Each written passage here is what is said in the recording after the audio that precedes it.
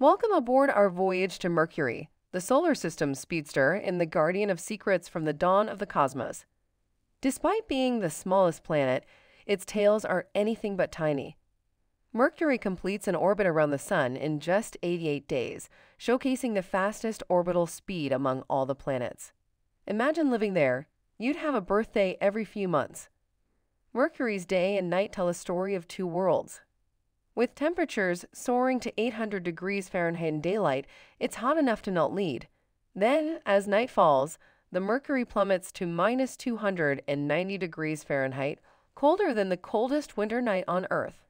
This dramatic shift happens because Mercury barely has an atmosphere to hold onto the sun's heat or to distribute it evenly.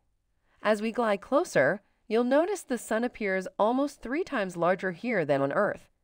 Yet in this inferno lies a paradox craters permanently shadowed and cold enough to harbor water ice, a reminder of the universe's capacity for surprises. Our journey wouldn't be complete without a trek across Mercury's rugged terrain, marked by craters and tall, steep cliffs created as the planet cooled and contracted. The Caloris Basin, a massive impact crater, spans 1,550 kilometers, if it were on Earth, entire states could fit inside it. Mercury is not just a testament to the cosmic ballet of celestial bodies, but also to the resilience of worlds.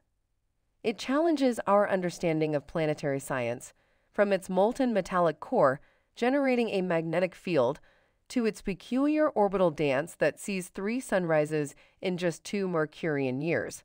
As we bid farewell to Mercury, let's carry with us the wonder of our solar system's diversity. Each visit, each observation, brings us closer to understanding not just Mercury, but the intricate dance of cosmos that we are a part of.